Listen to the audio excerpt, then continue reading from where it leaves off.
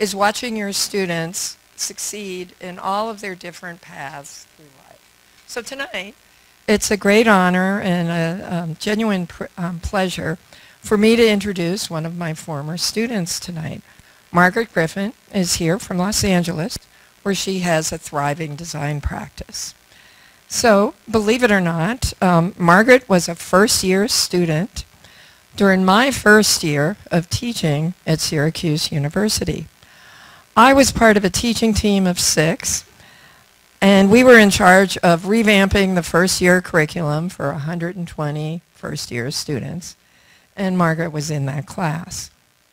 In the spring, she was in my design section with 20 students, so I came to know her quite well then.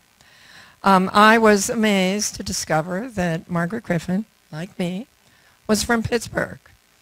I, we coincidentally also had the same art teacher, a three-year, pretty amazing course of um, classes at the Carnegie Museum um, with a very, you know, with a man who taught for 40 years. He was quite an institution for teaching art to high school students and young people.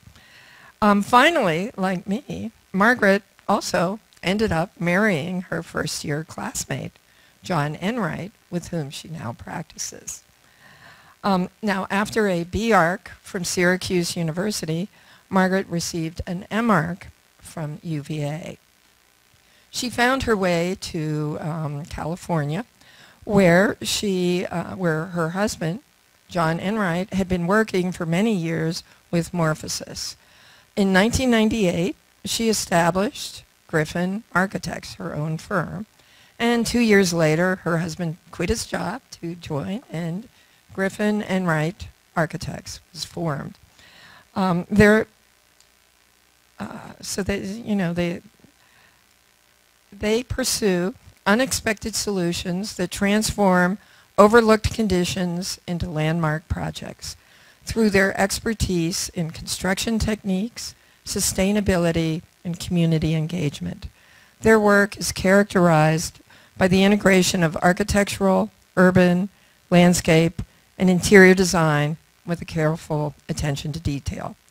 Perfect kind of practice for the College of Architecture and Design with all of our disciplines. Griffin Enright Architects have received more than 50 commendations for design excellence, and they've been recognized extensively in national and international publications and exhibitions. Both John and Margaret bridge the profession and the academy as active educators. Margaret has taught design and technology at SCI-Arc, the Southern California Institute of Architects. She's taught there for 14 years. Um, prior to that, she's taught for 10 years at USC, University of Southern California. Um, additionally, both John and Margaret participate in their community through public service.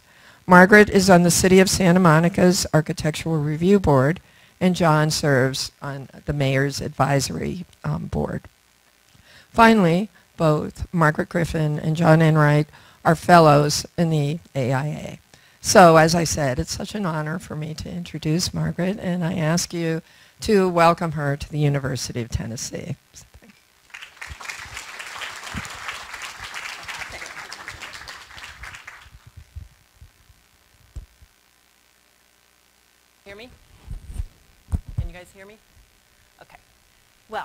Thank you so much. It's so great to be here. What a pleasure. Um, what a pleasure to um, have Marlene introduce me. I was so lucky to have her in my first year of design. Uh, that, that year I was uh, lucky to have two uh, female uh, professors in my first year of design and um, that was the last time I had two female professors until uh, thesis, but uh, I was definitely part of the generation, um, maybe unlike her, where I had uh, some role models um, that I could look up to, some female role models. Not that I haven't also had male role models, but I found that particularly helpful. And um, it's a delight to be here and to be introduced by you. Um, so uh, I'm just going to read a small introduction, uh, just because I want to get certain things precise, and then I'm going to go through the work um, pretty quickly. So uh, a true collaboration, the work shown tonight, is accomplished with my husband and partner, John Enright, over the past 20 years, as well as a large family of collaborators in the studio. The work uh, reflects our efforts to seek a new authenticity by synthesizing multiple perspectives, um, some that accentuate local conditions, while others, more essential, create new lasting um, identities. Never having fully bought into the parametric project based exclusively on topology, our work instead is a foray into uh, a new contemporary. Tonight I'll show you how we use strategies of deep inspection to harness local conditions to create new distinctions in our designs. Specifically, we're interested in hybrid strategies um, as, a, as, a, as a method to create a new authentic. So in a world where the thoroughbred, or the copy of the copy of the copy, has become everyday, perhaps an argument could be made for the mule as an analogy for an authentic architecture. Actually, this is the problem, just realized. Um, underrated, the mule uh, is known as a workhorse. It has built empires. It improves the life of those around it. With an occasionally abrasive character, the mule solved a lot of the world's problems. Mules are man-made. Their heritage goes back to bib biblical times. At first considered mythical animals worthy of kings' coronations, they're also known to have enabled the exploration of the Americas. George Washington bred mules because he knew mules could do much more than horses. They lived longer, they ate less, and they were much hardier than horses. The mule is a product of a horse and a donkey, but is itself irreproducible as a result. It cannot be copied. In a world where everything is a copy, perhaps the mule, or the hybrid, which cannot be copied, is the one of a kind that we crave. So can hybrids be a new model for an authentic? In our practice, we have been, been especially interested in hybridizing um, qualities of matter, space, movement, and light, and their ability to generate new effects, new identities, and new experiences. Coming from a generation that is pre-digital, we conflate essential architectural qualities with new morphologies to create new identities that transform existing contexts that can be described, uh, described as one of a kind. Our projects are developed from synthesizing very basic, let's say essential, architectural strategies. Yet they often yield a nuanced quality that has the ability to transform the existing condition and elevates the project and the architecture. We seek to transform effect and experience through new synthetic relationships among previously disparate parts. Hybrid naturally enable this quality. They have qualities seemingly disparate um, from seemingly disparate parts, yet they can become a new whole, whose character resists the, the reduction to a singular reading or interpretation which adds to its character and to its authenticity. Recently, we have been reflecting on this diagram. We embrace the power of mass, stasis, and form, yet we are obsessed with the more ephemeral conditions of movement, space, and lightness. This diagram is compri comprised of opposites, complementary conditions of matter, each essential to the architectural condition, yet each with differing transformative qualities, describing the inherent relationship among architectural qualities that we wrestle with while creating our projects. We seek new hybrids, sometimes through new typologies, sometimes through new effect, sometimes as a synthesis of multiple geometries.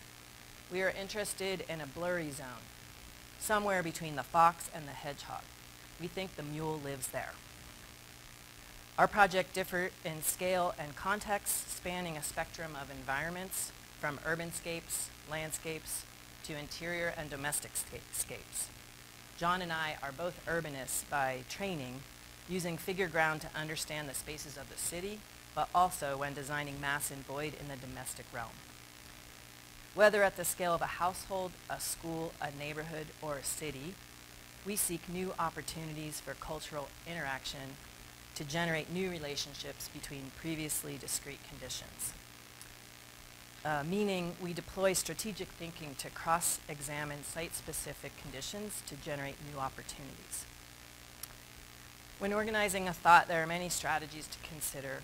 Tonight, I thought I would show mostly built work, some of which is um, just recently completed, and um, some of which is still under construction.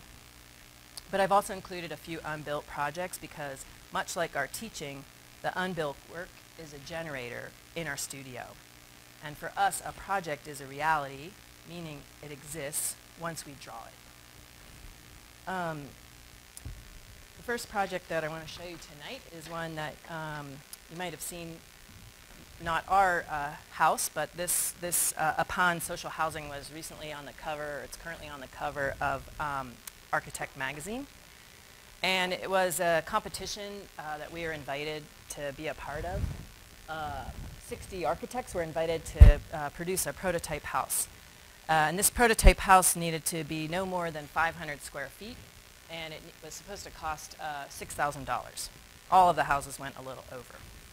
Um, the, of the 60 architects that um, uh, and you know like were invited to be a part of the project, they chose 30 of them to build.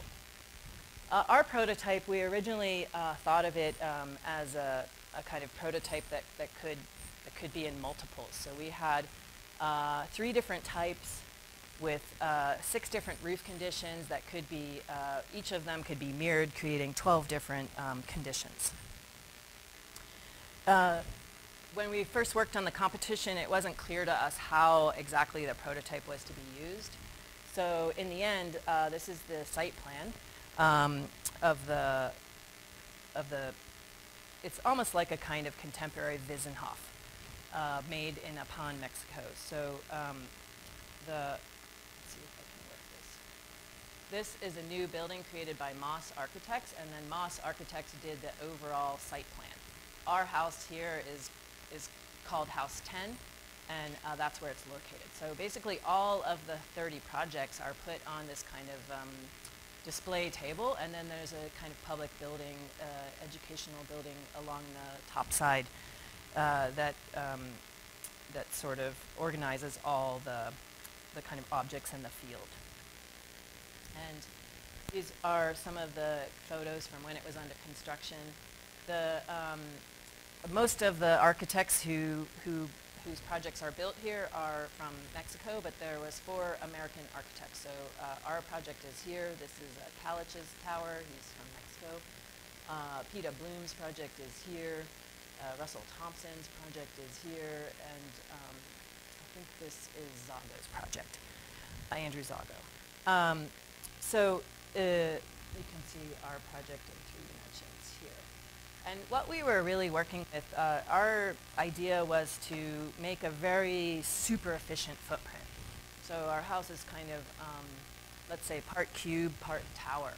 So what we did with this super efficient uh, floor plate is that we actually uh, kind of like overscaled the height. So we overscaled both heights of both floors. And then we, we took a kind of super uh, vernacular uh, construction type that is found all over Mexico, which is a concrete frame and slab with a block infill, and combine this with um, with a kind of thin shell concrete strategy. So the roof is a ruled surface, uh, much like, in, in, a way, we, we are kind of combining the vernacular with uh, learning lessons from Candela. Uh, Candela's projects were more based on parabolas, uh, so ruled surfaces uh, derive from parabolas, whereas our geometry is uh, derived from uh, specific profiles. Uh, and then the, the ruled surface uh, is a kind of, um, like, let's say, quirkier kind of shape. so that's our little house. And the, I, one of the goals that we had is that each of the little houses in our 12 different types would um, kind of gain a personality.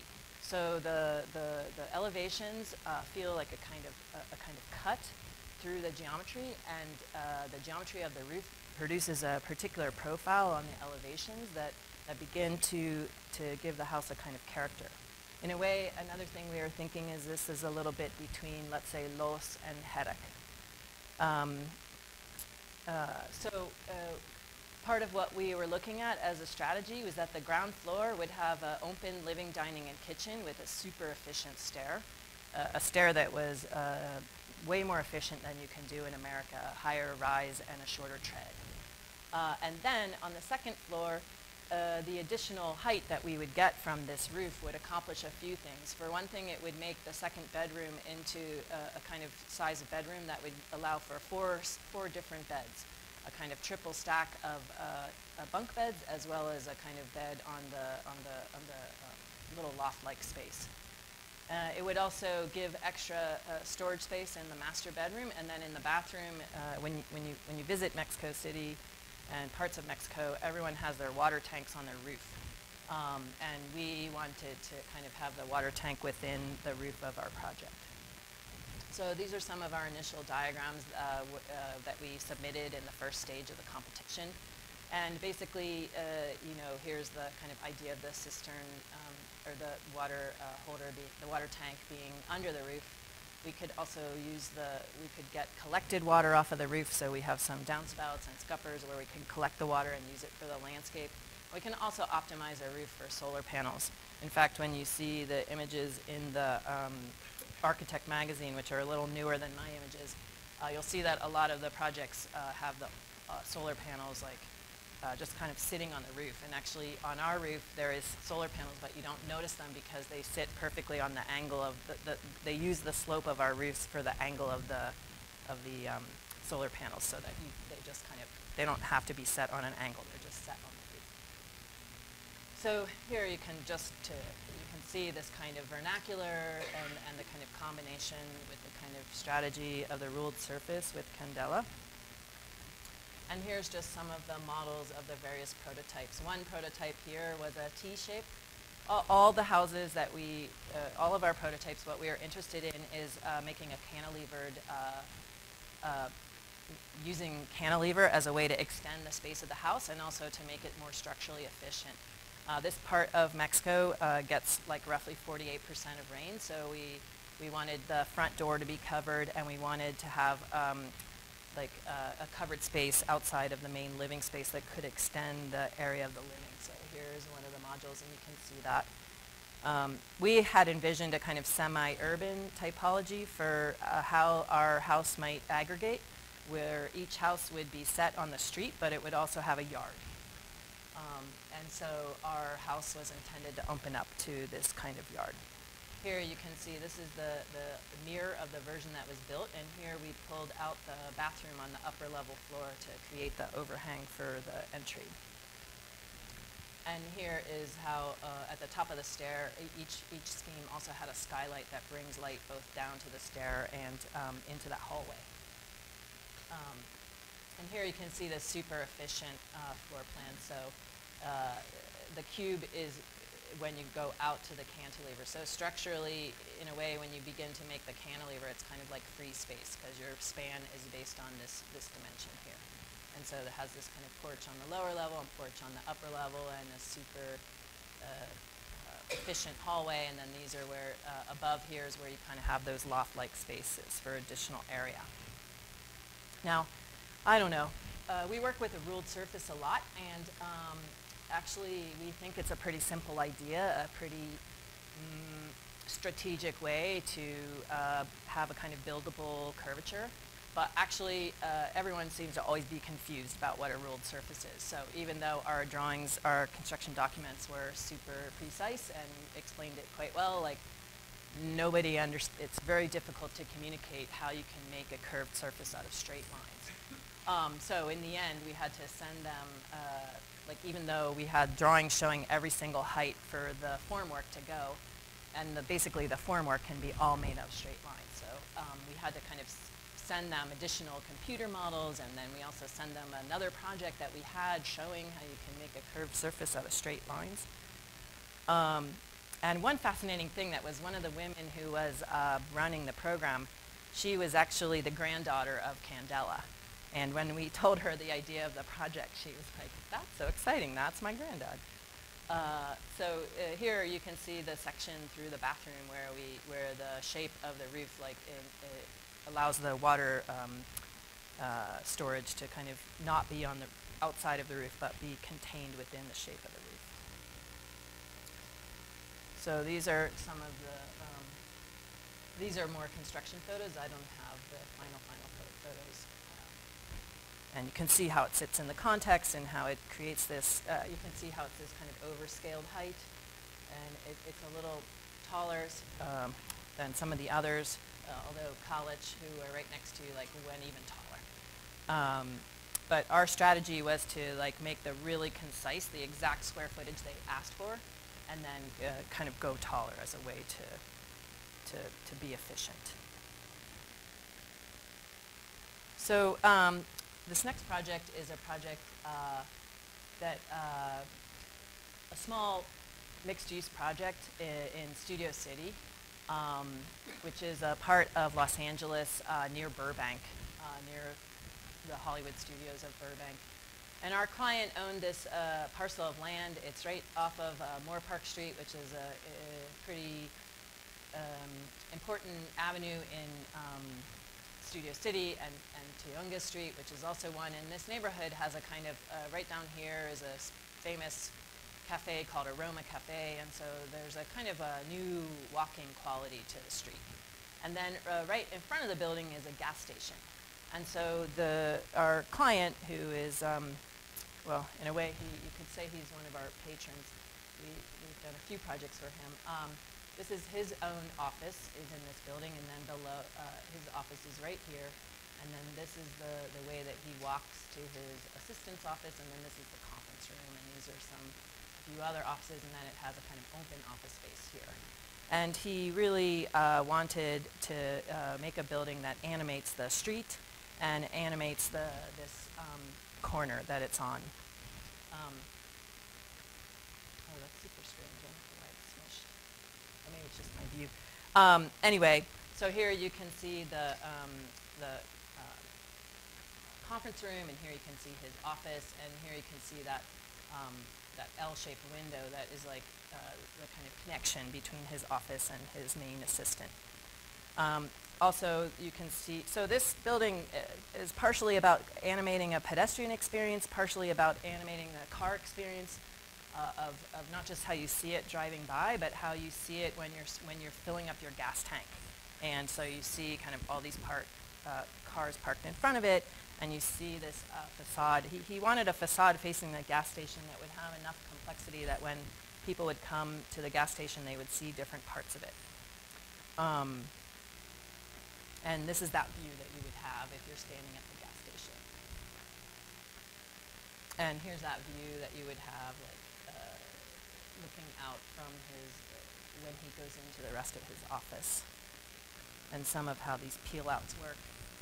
Um, uh, some of the elements are like a light box, so this box, this right here, functions as a light box at night. It, it lights up the area. Right now, the interiors haven't really been done. This is pretty rough interiors. We're about to start on the interiors with him. Um, so that remains to be seen. But what you can see from what's happening on the interiors is that these windows at different heights and in different places, they animate uh, both the open office area and the different offices and create kind of distinction within the space. So um, we, one of the bigger projects that we've done is this school uh, that was a Catholic uh, K through 8 grade school. Um, and it's associated with an existing church that you see here. And then um, part of the project was that we needed to provide parking uh, for the entire, for the church on the site of the school. So uh, we had an existing building that you see here that needed to get renovated. This was a building built in 1911. It's an unreinforced masonry building that needed to get um, brought up to current uh, structural codes as well as renovated. And then they wanted to kind of add a new building at the back that you see here in plan. Well, they wanted to add it, we proposed that it go in the back, but they wanted to add a new building that contained the gym, the, which is also a multi-purpose room, a new um, lunchroom, a new uh, uh, library, and two new classrooms, as well as like uh, a kitchen and uh, some bathrooms.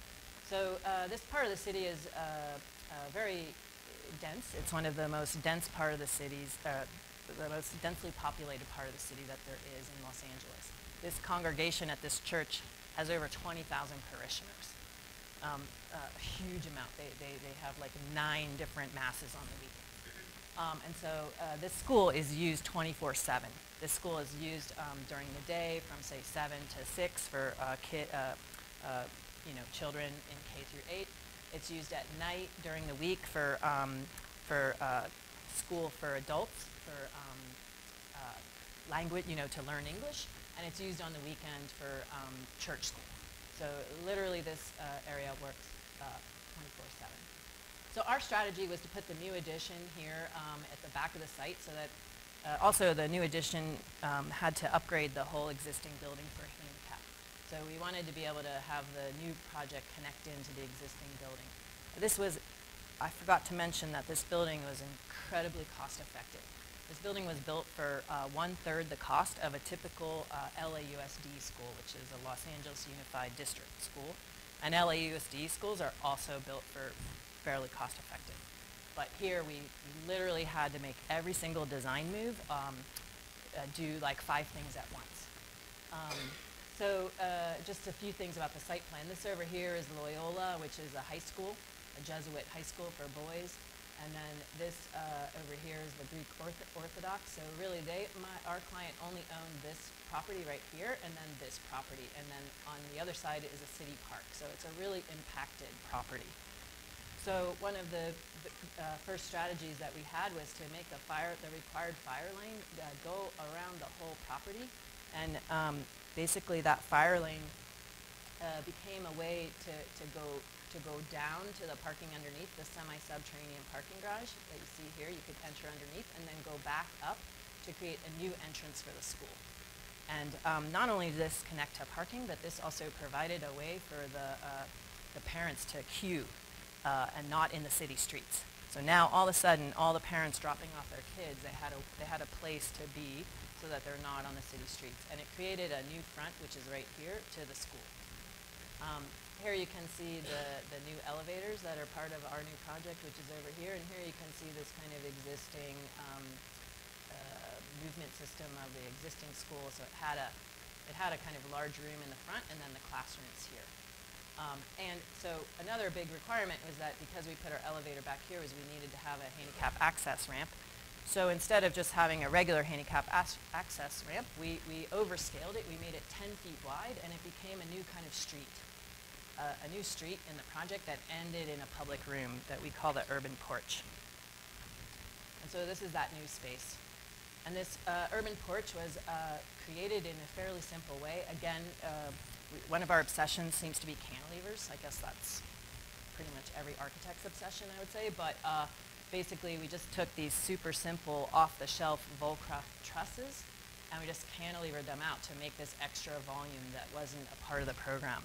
And it was able to be made uh, pretty um, cost effectively, but it also is like the main nexus of the project um, that you'll see as we go through.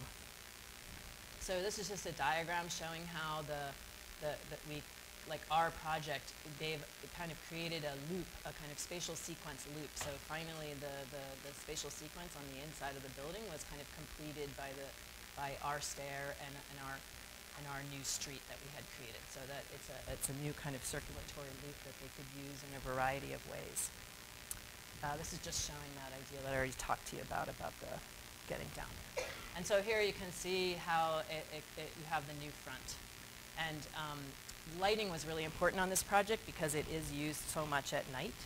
And um, actually a classmate of ours uh, from Syracuse uh, helped us with the lighting. His name is um, Peter Noble. Uh, and so this is seeing the project from the back. And basically this, this new space that we created became the, the outdoor lunchroom. And this is how it connects uh, that's how it connects to the existing building. You can see the kind of bridge here. On the existing building, we dug out the basement. Uh, we, we were able to reuse the whole bottom of the basement um, in a way that it hadn't been before because we dug out all around it and we created the, the, the playground for the kindergarten, first and second graders and the, they have a, their separate playground. Um, this is the new multi-purpose uh, room. It was, again, uh, one of the main strategies that we could use was paint uh, for some of the spatial effects. So uh, we basically made the, the name of the school like the same height as the glass here so that when you see it from the outside, you look through and you kind of see the name of the school. This is uh, the new building that we did. Another super strategic move that we did was that we put the new building on the west side of the property so that uh, it made shade. The whole playground is in shade for um, from like 2 o'clock to 6 p.m. And this lowered the temperature on the playground by 15 degrees. Also, the whole thing behaves as a, eh, as a, as a, as a this whole um, porch behaves as a stage and they can fit 5,000 people on top of the parking, which is on the playground. And uh, in addition, you can see that most of those people are in shade. There's only a few people in the back, so it depends on what time of day. But uh, they, they tend to do most of their gatherings um, in the in the sort of late afternoon and early evening, and then the whole um, all the people in the audience are in shade. And here you can see some of the effects at night, and then Another thing is that this has become a nexus in the community. They, they use this space, uh, it's rented out for a whole variety of, um, of functions and the, the, everything from quinceañeras to health, uh, um, like, uh, what do you call it? Um, health shows, health, uh, it's not symposium, but health, health fairs where uh, the local community can learn about how they can have access to health care. Um, and the, the school uh, earns a lot of money from renting this out. Uh, but this was from a more architectural event. That's John. That's John and Tom Wiscombe showing it. Um, so this is another example of like how that front occurs. So this project is a, a spec house that we did in uh, Venice Beach, uh, which we don't usually do a lot of spec house, but this client was very um, uh, unusual developer kind of client. Um, and they uh, wanted a kind of more special house. So because it was a spec house, this house, uh, uh, even though there's some special qualities about it, it had to be super strategic. It had to be built for a very low amount. Um, here you can see the back. Uh, again, the, the, kind of cantilever, um, which was our main, I mean, splurge, essentially. Uh, and then you see this oculus, this kind of double oculus, one there and one there, which brings light down to the pool. Um, and so uh, sort of the main idea of the project is that um, you'll see in a minute how the, even though the garage is right on the front, it becomes camouflaged. Uh, and then you, we basically made this peel out that you see right here, and so the entrance is kind of into this peel out, and then here you get this like view of the pool, and that's what you see right here. So when you enter into this like one and a half story space, you get a, a kind of glimpse down to the pool, and at the right time uh, of the day, uh, you see like light shining through the oculus down on the pool. So we, we make this kind of like a powerful like threshold uh, event uh, at the entrance, but really the kind of big move on the project was we, we just slightly overscaled the garage, uh, and then we, we, we again used um, pretty simple wood trusses and just uh, make a simple rectangle with a super efficient structure going all the way across, and then at the end we kind of have this uh, cantilever. Um, so this site was pretty long and skinny, so basically the main idea of this uh, living room is that you, you, you feel like the space expands to the back, but also to the side. So we capitalized on the, the side of the lot, or and the side yard, and kind of um, instead of having super tight side yards and only having a backyard, on this project, when you're in this living room, you really feel like you're in this kind of larger space of the whole site. And then this is a view at the very top when you're up in the master bathroom. If you stand right here, you're, you're basically floating over the pool and you kind of look down onto the pool and that's what you could see there. Um, so here's the kind of front elevation and how the, the garage is camouflaged and, and even the driveway is a little bit camouflaged by the, uh, grasscrete that we used. Um, here you can see the peel out. And here you can see that um, kind of threshold moment where you get this uh, glimpse out to the pool. And from there, you can either go upstairs or take a few steps down into the main space.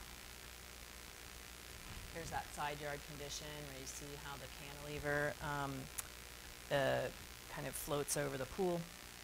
And here's just some of the more simple elements, this kind of extra uh, kind of bonus space above in this, uh, uh, this kind of volume of the skylight that we created. But in a way, uh, super, one of the tricks of this house was how to be super simple and strategic, yet, yet kind of make something with a little kick.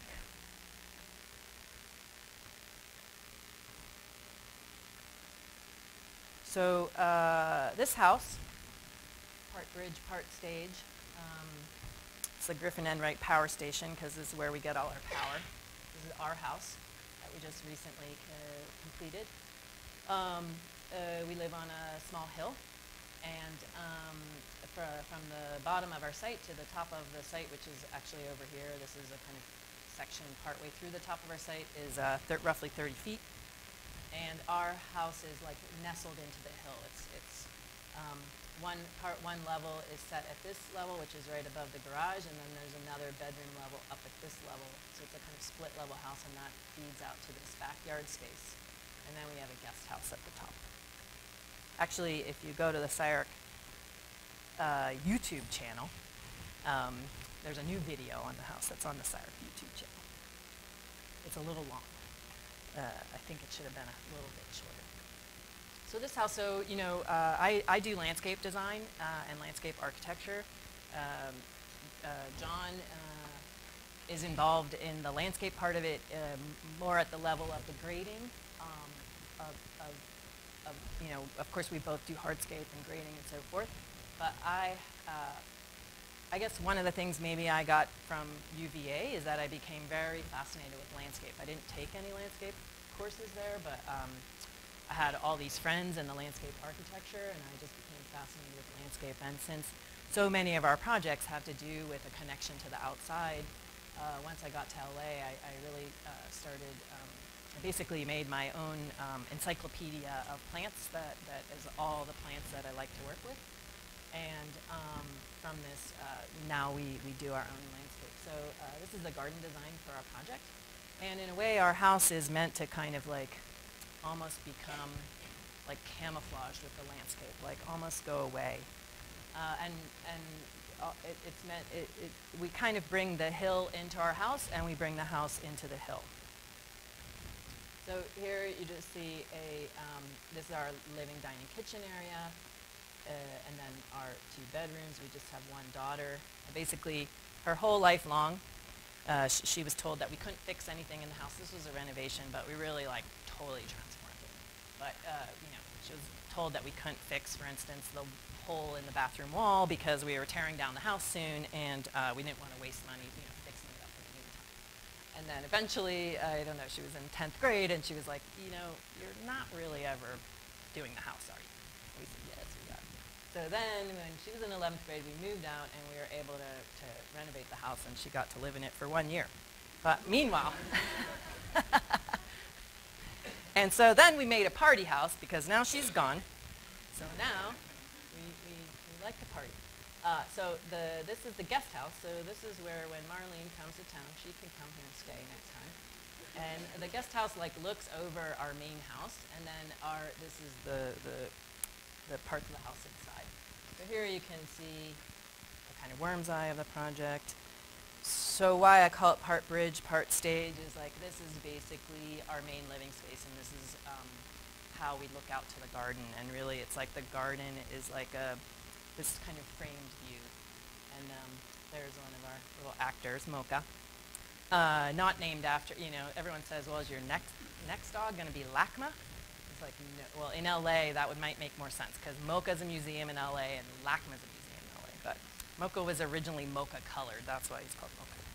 Anyway, so what happens with the garden is that, uh, and one of the things I like about landscape is like it really changes over the seasons.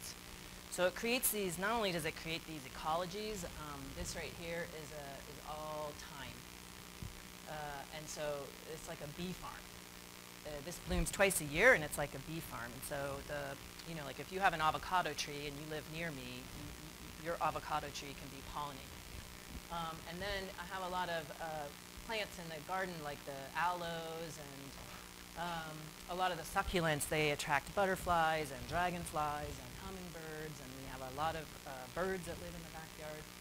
And then we have a lot of uh, plants that like bloom in different times of the year. So for instance, like right now is when this plant blooms. This plant right here, which is pink muhly, it only blooms once a year for like two weeks. Um, and so, you know, you can see this is what it looks like when it's not blooming. Um, but like uh, basically in our house, uh, you essentially you feel like you're outside all the time.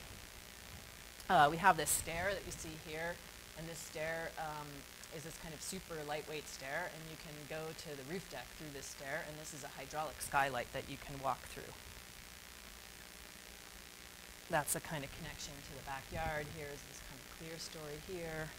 This is very simple. You know, our house isn't as fancy as our client's house, but it's actually pretty transformative.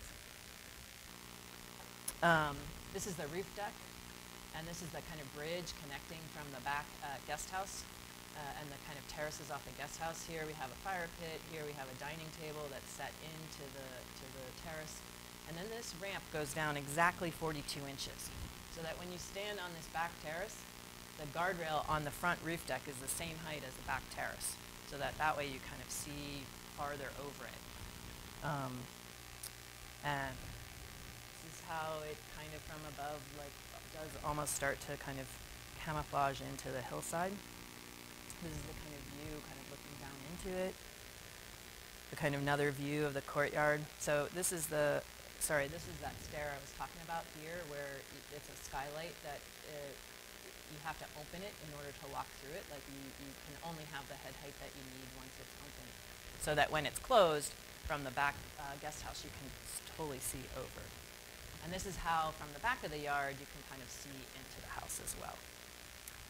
So uh, this is some of the effects in terms of like living in it. Like so, this is a photo that Mark Wigley took at one of our parties, and this is another kind of effect of the house, uh, the kind of night of prom and the kind of photogenic uh, conditions. And then this is all the parents photographing all the kids.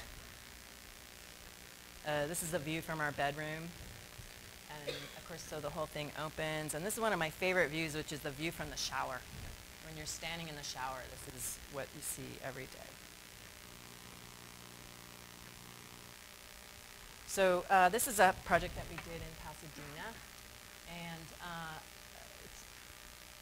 I call it part undulating bowling part carcass because uh, it was a renovation of an existing house. And the new part is in here.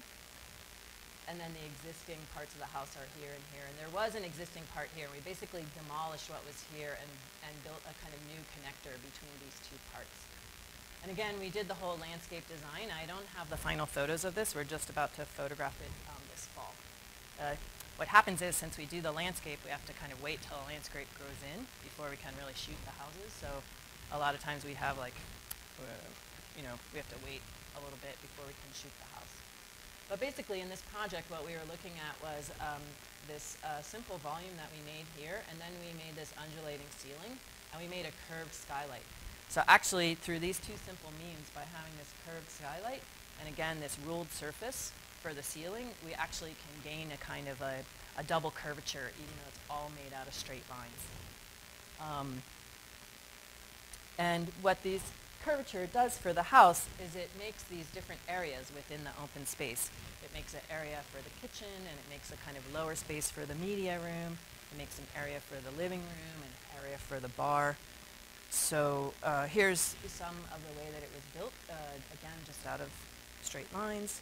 But again, you get that feeling of the double curvature because this uh, skylight curves in plan. So you have this curving in section and curving in plan. And uh, you can see some of the qualities of light. Sometimes you get a very direct light, sometimes you get a more indirect light. And you can also see how the ceiling and the shapes of the ceiling actually relate to some of the uh, topography beyond, right? So there's this kind of connection of the ceiling to this uh, landscape beyond. At one point, this project went on hold, and the owner is a toy maker. Um, he was having some problems with the toy that he sells, and he had to re-engineer it. And I remember his fiance, when they came back, she was she said, "Well, you haven't built that that ceiling for anyone else, have you?" And I was like, "No, I mean it's your ceiling." She was very worried that we would use this ceiling on someone else's project, uh, which I thought was very endearing. And uh, I, I thought you are the reason. This, you are the kind of client I like. Um, so that is a, one that we still have yet to photograph. So um, this project uh, is one um, that's dear to our heart. This is by a very special client to of ours. It's up on the top of Point Dume. So this is a kind of figure ground of Point Dume. Our, uh, Point Dume, the actual Point Dume is here, and our client's project is like right in here. But uh, Malibu, if you've ever been to LA, um, there's a kind of like, like a like a cove, like Malibu kind of sticks out. So when you look up the coast to Malibu, it's like kind of sticks out. And so when you're in Malibu, you can you can look out to the ocean, but you can also look back and see the city of Santa Monica and see see kind of lights. So this is our client's. Um, that's the site, and then this is the actual Point Dume, which is a big rock. And then there's another Point Dume which splits our sites in half. So there's another big rock up here that our, our project sits halfway on the big rock and halfway on the flats. Um, and so this line right here is this retaining wall, and this part of the house is up more on the rock, and then this part is like a, a shallower slope. It's still sloped, but it's a kind of shallower slope. And this project, uh, the geometry of the project is all about the views and the coastline and setting up the views uh, from the house uh, both out to the water but down the coastline. Because when you live on the ocean, actually one of the things is that at, in the daytime looking out at the ocean is very beautiful, but at night when you look out to the ocean, there's really nothing to see. Uh, sometimes you might see ships there if you're lucky. But so at nighttime, actually, the, the, the view is like down the coastline to, to the city lights. Um, so what happens in the project is that, um, uh, you'll see on the next slide, the, there's a kind of, um, you enter, you enter back here, and this line here is about like the viewing the ocean. And then there's a second peel back that you'll see on the next floor, which is to the upstairs, which is the bedroom, where you kind of get the view down to Santa Monica. And then uh, this is the pool. And so i this is this kind of like intersection between the loft-like living space and the outdoors, and this is this kind of porch, and then your, your eye is taken back out to the, to the ocean by the pool. And so what happens is you enter at a mid-level, halfway between the first floor and the second floor, and you can either go down this kind of uh, overscaled stair, or you can kind of go behind this wall and go up to the second story. And then this is just that plan. So here you have kind of kitchen, um, dining, living room, library, media room. Um, uh, this is the mo- mother-in-law unit back here with a separate kind of courtyard behind. And then on the second floor, you have these uh, two bedrooms and then the kind of master suite. And so we developed these kind of peel outs um, in order to have these rooms at the back gain an ocean view. And then this is the shower of the master, which also gets an ocean view through that peel out. So this is the same guy that owns that office. So the peel out windows at the office are related to this project. Um, and here you can see the, the this kind of idea about that, that peel back on the second floor and these kind of two geometries and how that sets up the view. We're also obsessed with worm's eyes. I think that has a lot to do with because we, in our projects, we really think about the ceiling a lot. Um, uh, the ceiling is, a, is another element. We, we, we don't let the ceiling be too generic, mostly. Um, but in this case, you also can kind of see this uh, sectional condition of this uh, double-story space that we have going down the middle. We also did the landscape in this house. This was one of the first big landscapes that we did. Um, here you can see how the house is part, like, set into the hillside, right? So this is where you enter halfway in between, and you can go up to the second story or down to the main story, and how the how the uh, pool is also kind of set. So the house is again kind of embedded in the hill. Here you can see the kind of winds out or the aerial. This is that master bedroom, uh, master bathroom area. We also, this is the library, and so we have this idea about a brise-soleil. So basically, we thought about the bookshelves in the library as if they're kind of pulled out through the, through the front facade, and they became a kind of brise-soleil that also became the guardrail on the second story, and is a kind of overscaled element on the rear facade.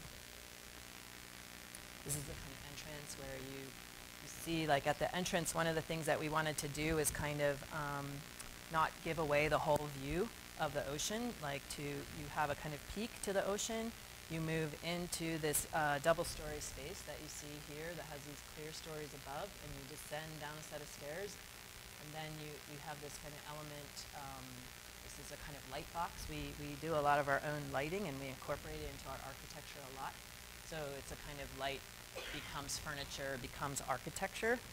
And then basically you get this horizontal, um, you, you get this like, oh, when you finally enter the living room, you get the pow of like the horizontal of the ocean. And here's that wall beyond that you see, and then the pool beyond there, and how the pool takes your eye out to the ocean. This is some of how that, um, that double-story space behaves. This kind of like, you go from this kind of tight vertical space into this like horizontal space at the end in the living room like I was describing.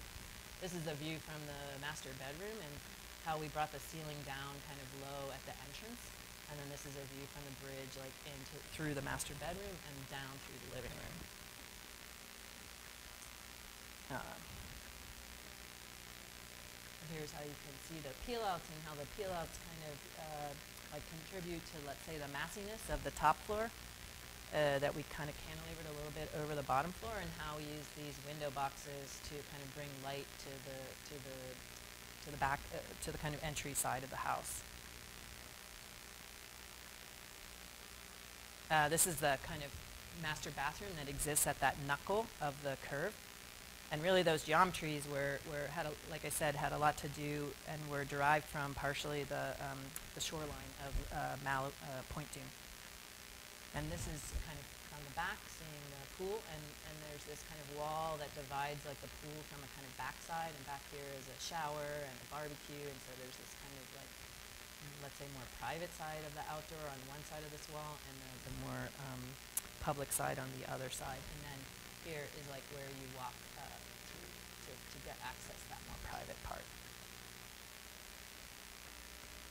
Um, this is a competition that we did, you know, which obviously is not even happening. Uh, the people who won it, um, there's a whole controversy. Helsinki doesn't really want the Guggenheim.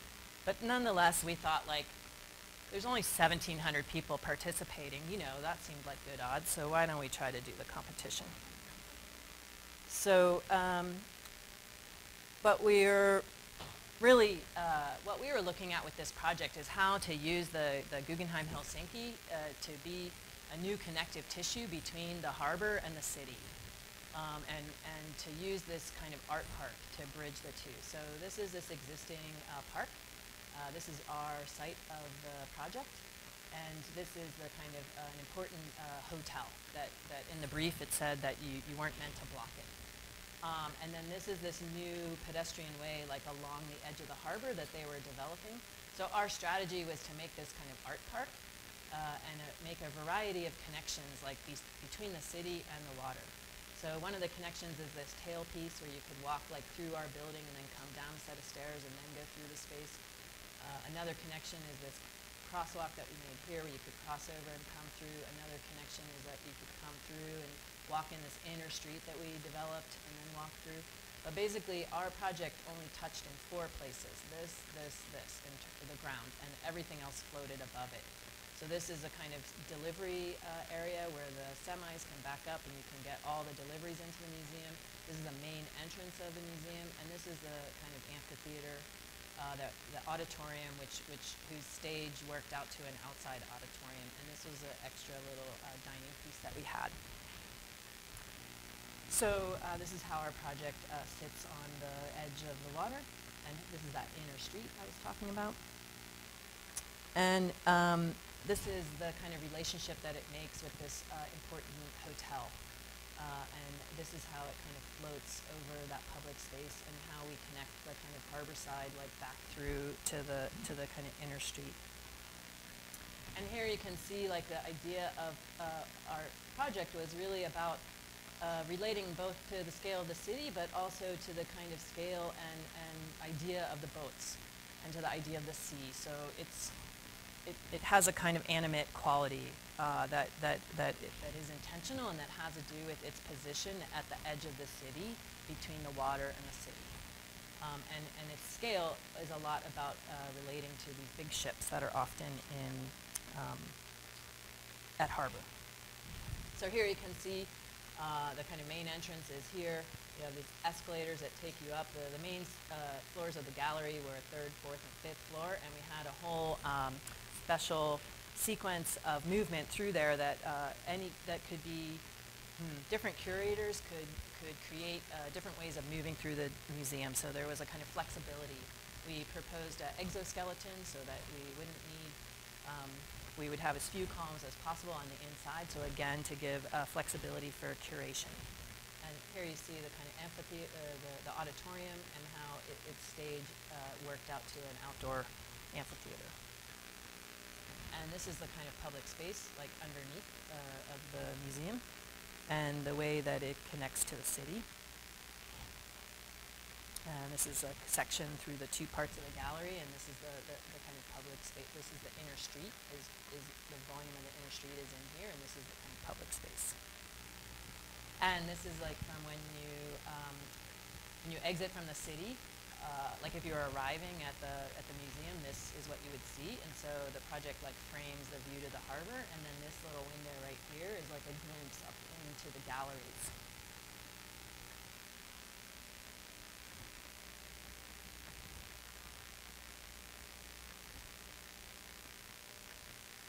And this is the space that's right here, this project. So needless to say, we didn't win. Uh, but nonetheless, this project is a kind of important one for us in terms of some of the hmm, explorations that we could make at a kind of larger urban scale. So I just have two more projects. Um, this is a house that we recently completed, and um, so you know, we, we came from an era and, and from a place where we were, uh, a, a, lot of our work has, has a lot to do with movement, how, how you move through, how uh, views are set up, um, how you create thresholds.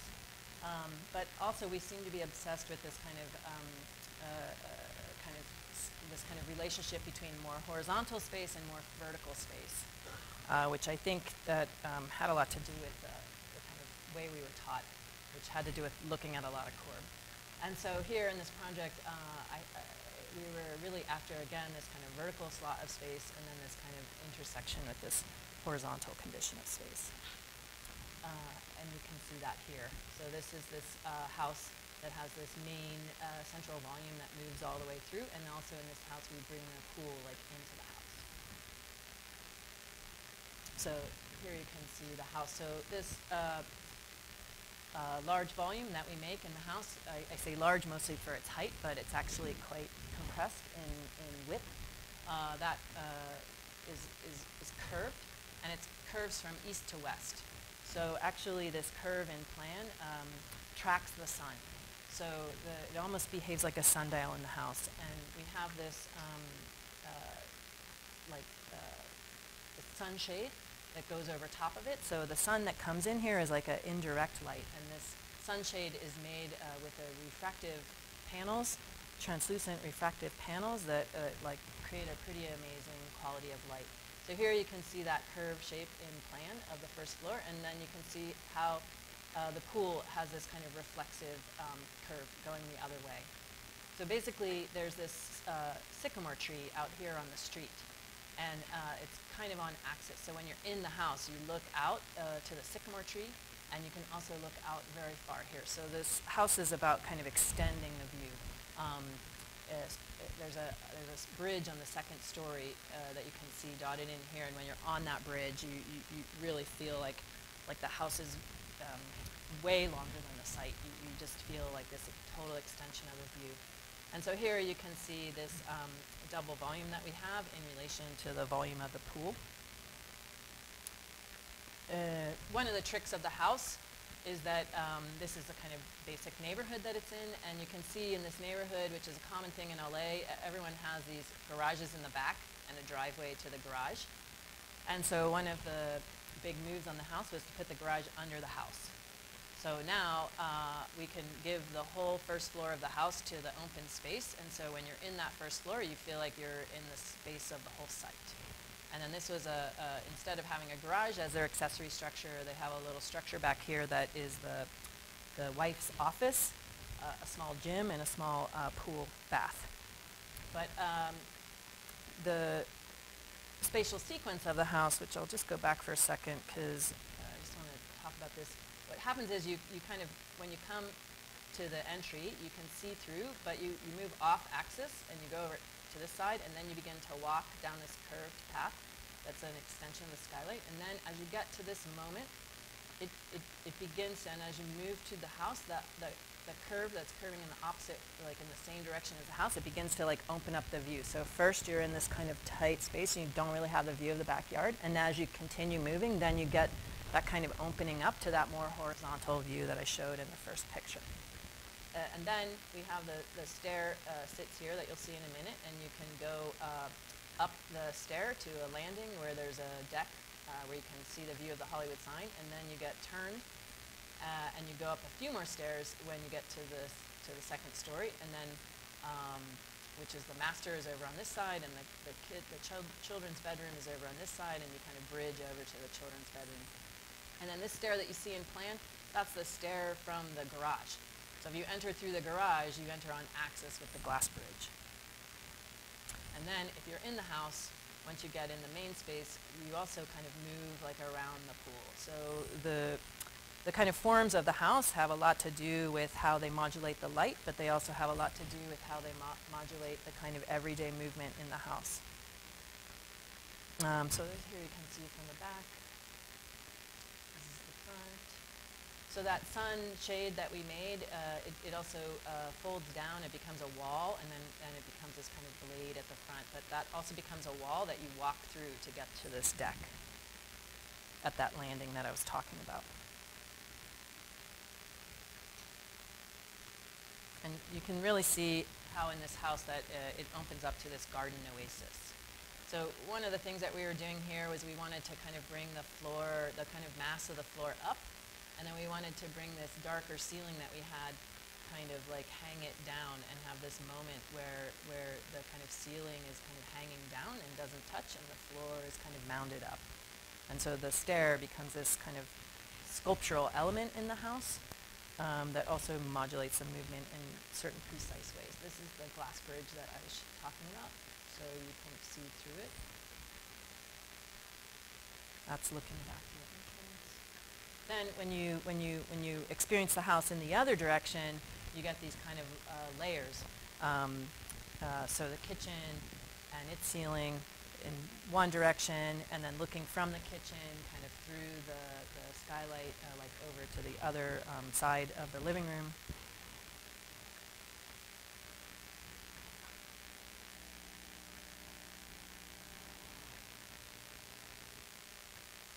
So this is like when you're in the house looking up, but one of the things about this house is the quality of light is like really changing and the colors of light uh, animates the house. So if it's sunset, you have a, not one kind of color. If it's sunrise, you have another kind of color. Um, and this is this kind of moment where the pool comes into the house and where the house seems to like engulf the, the pool.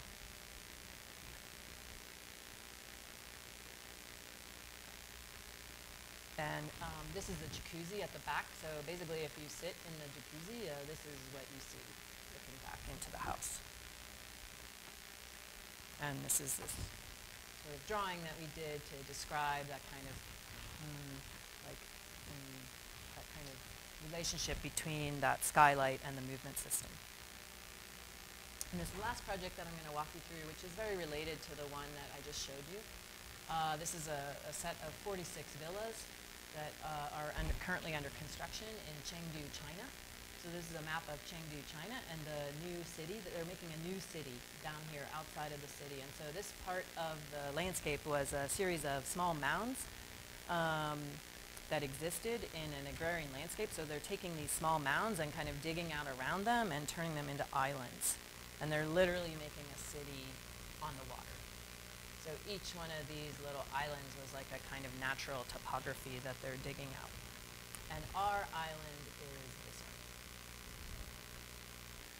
And so uh, from the beginning, what we had as an idea for this project was to think, uh, they called them villas, but really they're pretty, they're almost like townhomes in a way. So we, we, we thought about the project as a kind of rethinking of the townhome.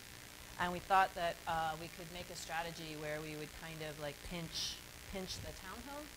And then what that would allow is that like, the bedrooms in the back could gain views to the water. And we would also get a kind of garden court. So that one move accomplished a few things at a time. So uh, this is the kind of site plan. We basically created uh, six different villa types that could, each of them could be mirrored. So it uh, gives you 12 different types that are then arrayed uh, across the three islands, uh, which really they, they're, they're, a kind of peninsula because it doesn't cross here.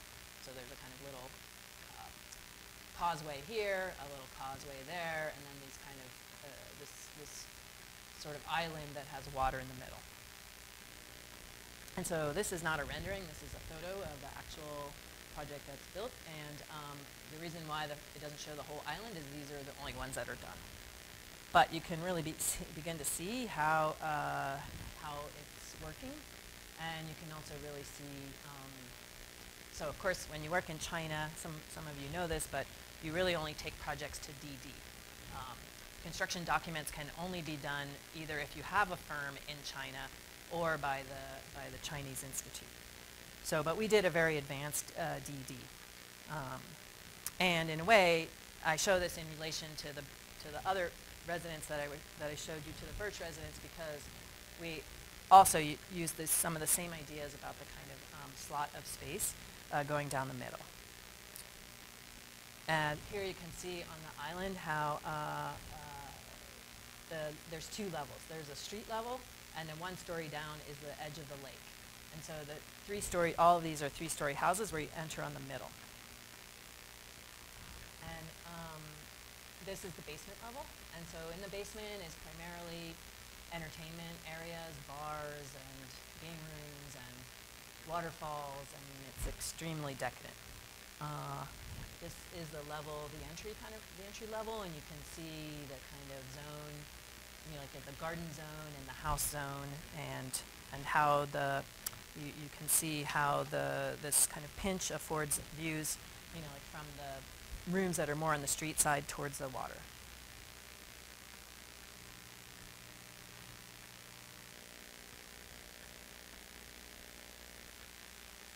And um, this particular house has this uh, floating object in it. Um, that's the master bedroom, and underneath it is the uh, main living room. And these are the set of plans. So the interesting thing about building in China is that the uh, so these are structures are all cast in place concrete, you know, which is something we could never do in America. So of course our houses in LA are mostly type 5 construction with a little bit of steel.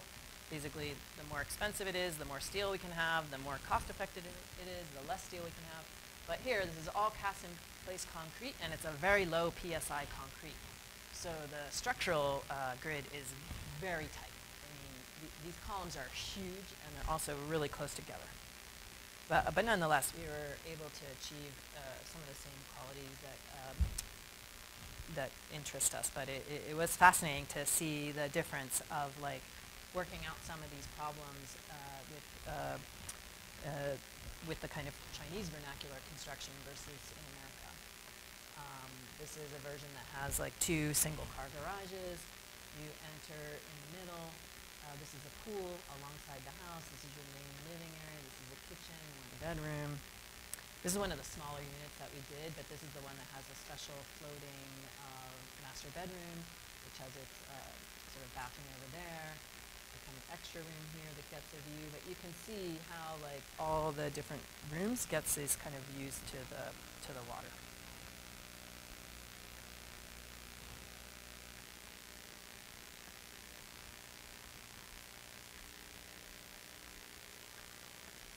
And here you can see some of that kind of space in between the kind of courtyard spaces and the way you move through some of those courtyard spaces and the way that they direct your view to the outside and to the water. Thank you.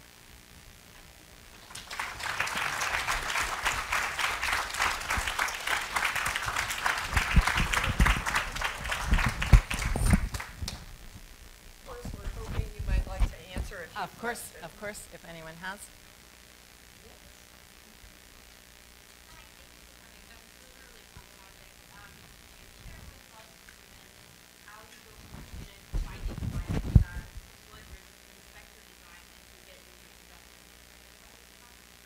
Yeah, that's a really great question. Um, it's, the answer is it's not easy. Um, uh, in the beginning, you, it's a lot of convincing. You know? It's a lot of, um, and still to the, well, so for instance, in the house in Point Dume, that was one of our earlier projects, and um, that uh, uh, light box that went down the center that had that um, like eco resin in it, um, that uh, it was really hard to convince him of, of that. And he, we, we, sh- we showed him so many different ways, like we, we showed him renderings, we showed him, and we went to the site and, um, you know, he, there was a steel frame up for it and then he had them take it down and then he put it back up and eventually, like it was such a battle to get that in. And then later on, uh, an, uh, like a year later, a year and a half later, when, when it was being published, uh, it was being published in Interior Design, and Edie Cohen, who's the editor of Interior Design, was there, and she was talking to Mike, and she was like, well, well, what's your favorite part of the house? And then Mike literally says, the light box is my favorite part. And I look at him, and I was like, what? And he's like, I know, Margaret, you were right. So uh, he eventually did the light box the way we originally designed it, but it was, a, it was, it was not easy, actually. It wasn't an easy sell. But uh, many times, what I, what I tell a client is I say, well, listen, if you, would, if you were just like out of the country and I could build your whole house and then you could come back, you would see how great this thing that I'm trying to explain to you is. Like, I know it's really hard to visualize, but, but, but you just have to trust me. So it, it, you, you have to find your way to convince people until you start to have work. And then um, in our case, like it, it still happens occasionally, but not as much because now usually people are coming to us because they see what we're doing and they, they, they want that. But um, some clients like uh, are, are kind of lean into it more easily and some clients don't. But, but most clients, you don't choose to hire an architect if you're not already some, if, you're, if you don't have some amount of vision. Like clients are visionary actually. So, because they wouldn't be, you know, it's not easy to build a project. So any, anyone who has the idea about building something, it already has the capacity to, to be visionary. So you, you just have to find a way to tap into their vision and find a way to um, sort of uh, match like, like, like a way that you can, you can help them re-envision things. Because many times uh, we, clients come to us and they think they want one thing, but after we get to know them and after we talk about their lifestyles and their living, their like the ways they live, many times we can find like special features that are just for them that they never would have thought. They never would have. They, they, they can't imagine that that's what they would want, but actually through getting to know them and through getting to know um, how they live, we can actually often propose things that are like, that solve a problem they didn't know they had.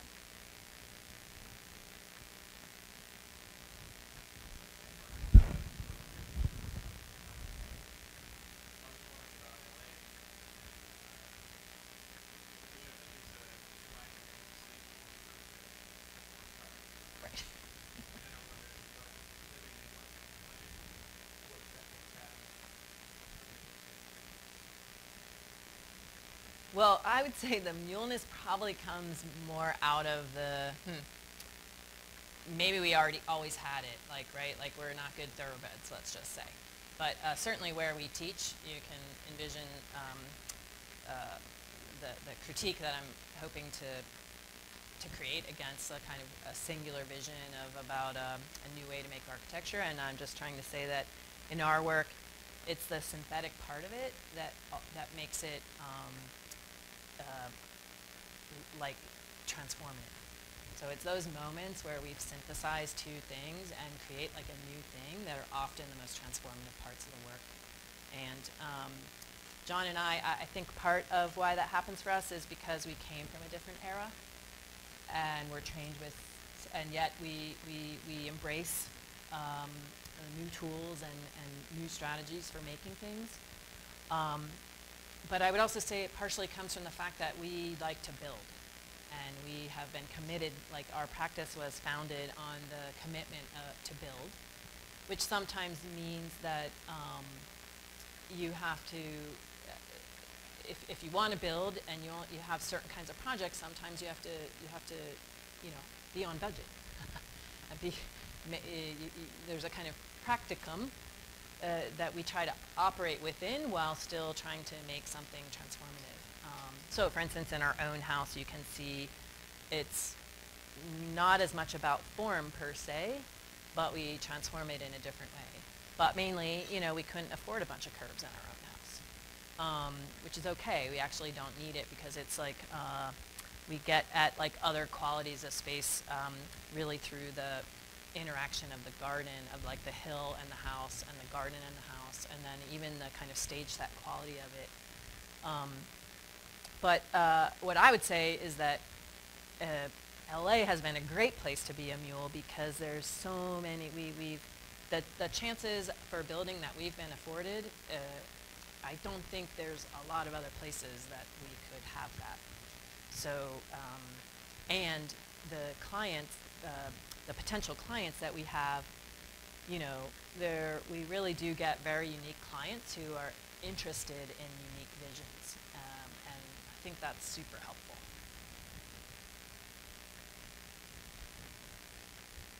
Yeah?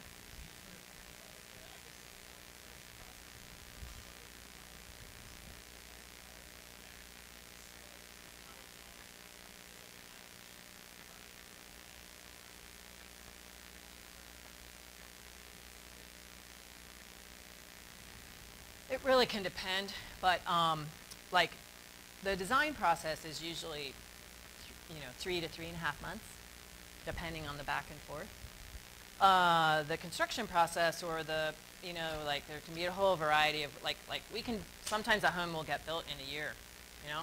Other times it goes on hold for a year and then it, then it comes back for a little while and then it goes on hold for another year and you know I mean? Then you, then you start building it, then it's like takes a couple years. So there are some projects which can, which are, like our house we built in 11 months, you know. Uh, but other houses, the Birch residence, it took three years. The client changed their mind a little bit. They, they, they kind of, you know, as they, as they saw it being built, there's like, they evolved and like uh, ideas that they had about materiality. Um, you know, like, so it, it, it's not like a singular answer, but in general, um, we, we, it is a back and forth process with our client, but we usually nail down the kind of big moves within the first couple weeks. So it's not um, the, the, the longer part of the process of the designing the house is the construction documents, you know, but the design part, like for instance the Guggenheim Museum, we did that project in three weeks, you know, so sometimes the design process is actually quite quick. Uh, it's just there's so many other parts of architecture that take so long. Or there's a house I didn't show today, but it's under construction. That house, one time, the client made an appointment to come into the office, and, and that summer we had just happened to be messing with VR. And we put the whole house in VR. And uh, they came into the office, and we were like, and we had a physical model, and we had VR, and um, we didn't find out until later, but they, they, they were making the meeting with us to, to tell us the project was not going to happen. They were going to cancel the project. And then we, because the, the, the wife and the husband, they were able to walk through their house in VR. Basically, when they, they basic, they didn't end up telling us they were going to cancel the project. And um, later on, uh, a few months later, when it kind of started up again, they told us a story about how they were going to cancel the project, but because the wife could walk through it, she looked to her husband and she's like, I have to have this house. So basically, VR saved a house of ours. Like, so we use like every tool at our disposal sometimes we're just using the tools for like our own edification, but then sometimes when we do that, it actually is part of the kind of convincing, whatever that is. Either it's about convincing another new client or that client. If there's a burning last question. Well, can you see why I'm so happy and proud to um, claim Margaret Griffin as a student? And I hope everybody is equally happy and inspired for the kind of things that lie ahead for you. So thank you. Margaret. Thank you.